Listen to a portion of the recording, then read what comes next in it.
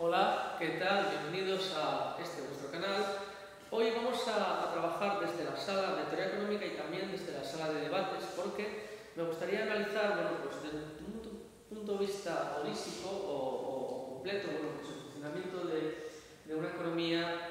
desde el mercado del dinero, pasando por el mercado de servicios y su representación final en el mercado del trabajo.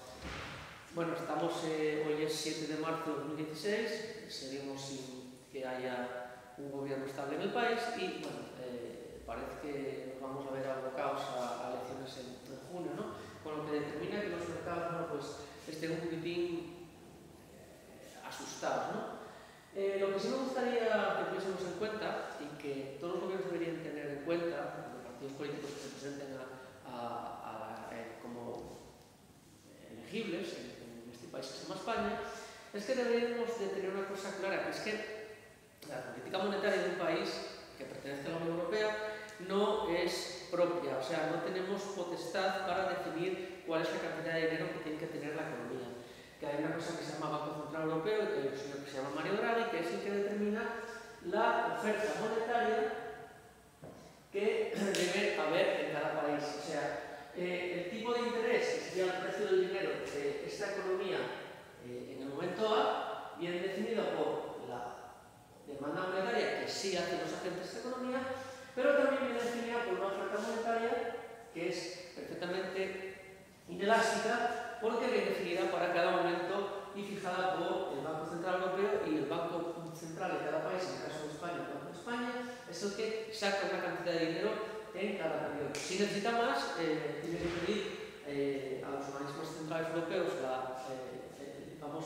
eh, el permiso para eh, sacar más dinero, se le permite, pero tiene que pagar a, a cambio una tasa que es una especie de multa por no cumplir los objetivos fijados. ¿no? Entonces debemos tener en cuenta que esto es algo que nos viene obligado, no cuando, como cuando era peseta, que la peseta era el Banco Central Español, el Banco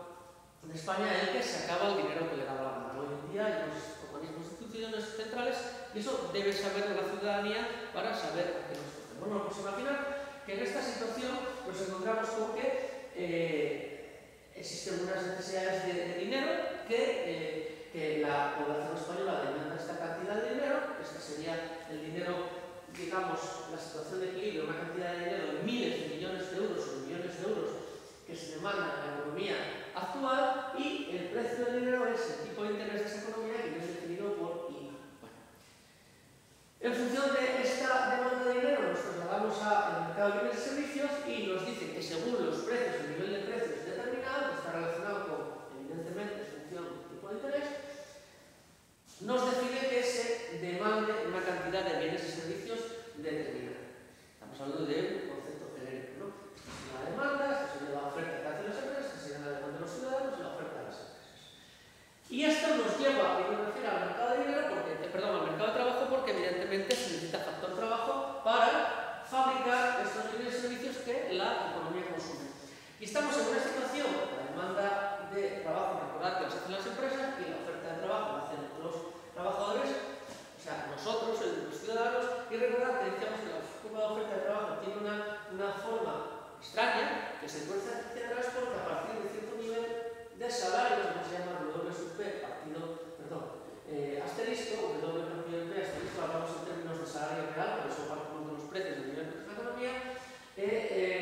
partir de ese nivel eh, los trabajadores sustituimos ocio por trabajo, ¿no? o ocio consumo. Eh, quiere decir que a partir de una situación en la que nos consideramos ricos, pues dejamos de trabajar y dedicamos más tiempo a jugar a la play o a jugar al, al mus, al fútbol, lo que sea. Y suponemos que esa situación LA es una situación eficiente. Tendría que haber una cantidad mayor que podríamos llamar, por ejemplo, LB, que nos llevaría a una situación que conocemos como pleno empleo. Entre otras cosas, recordar que nos situaría en la frontera de posibilidades de producción en un punto sobre ella. Con lo que, por ejemplo, no estaríamos como aquí en Estaríamos en una situación donde el, factor trabajo es despilfarrado. Bueno, pues el buen señor Mario Draghi, hace aproximadamente dos años, hizo una jugada que llevó a que las economías que estaban atoradas, como el caso de la nuestra, creciesen eh, más o menos, en mayor o menor medida, en función de sus características y definió por ejemplo, vamos a ver una cosa rara en el caso español, en el mercado de trabajo, ¿por qué no creció lo que debería? Bueno, pues el señor Draghi lo que hizo fue una jugada que era incrementar la oferta monetaria mediante dos medidas. Por una parte, lo que hizo fue insuflar o inyectar dinero en la economía, en las economías, dinero físico, y por otro, penalizar los depósitos bancarios que existían de los bancos comerciales en el Banco Central de cada país y de los bancos centrales en el Banco Central Europeo.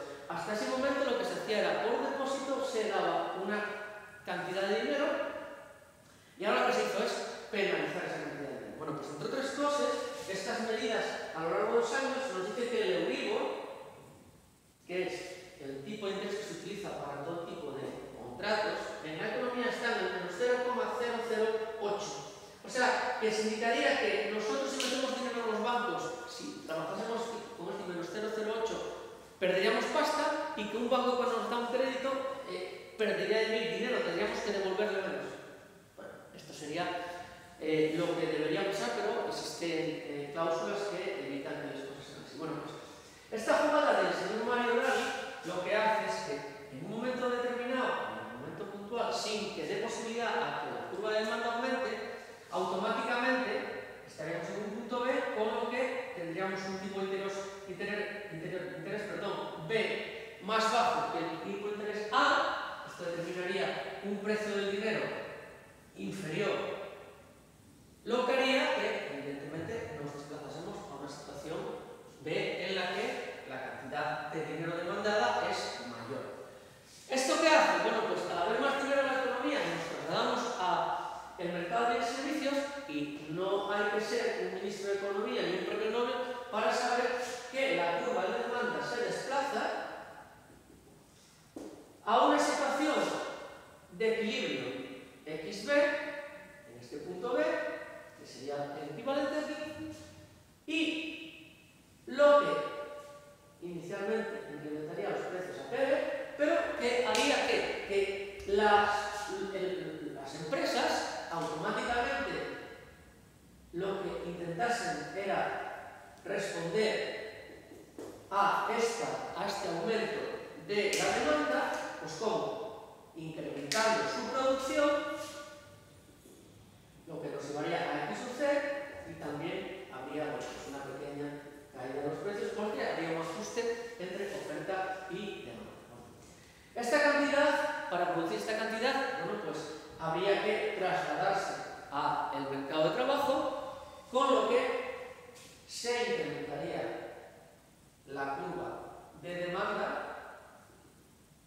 vamos a poner a un nivel C, esto sería el C, que estaría más próximo a el supuesto de pleno empleo, si no es que llegamos al supuesto de pleno empleo final. Luego, cuando una economía consigue, esto en el fondo, la suma de todos los bienes y servicios de una economía, es lo que se llama Producto Interior Bruto, si se producen incrementos, como en el caso del Producto Interior Bruto, debería repercutir también en el mercado de trabajo. En el caso español, desgraciadamente, vemos que no es así. ¿Por qué? Bueno, pues porque existen un montón de normativas que desgraciadamente se eh, definieron en el último eh, gobierno que lo que intentaba era precarizar el trabajo, que permitía el que se contrata gente una semana y se les echa al paro, que se permitía contratar gente por jornadas partidas, que permitía ciertas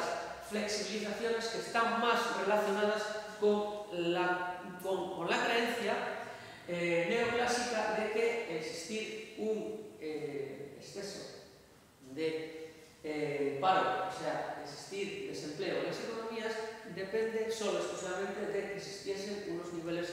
de salarios rígidos a la baja. Luego, una actuación como la del señor Mario Brani genera crecimiento de los productos entre los vía consumo, vía bajada de precios de dinero, lo que excita la capacidad de compra de las familias y lo que genera el que las empresas sean capaces de producir más vía contratación de personal. Pero cuando existen problemas estructurales más ligados con las, digamos, ciertas variables de eh, aceptación cultural eh, del partido del gobierno o de, errores estructurales o errores culturales que tiene una cultura determinada o un país determinado, pues esta transmisión no se ejerce totalmente y aparece algún desajuste, algún choque estructural que evita el que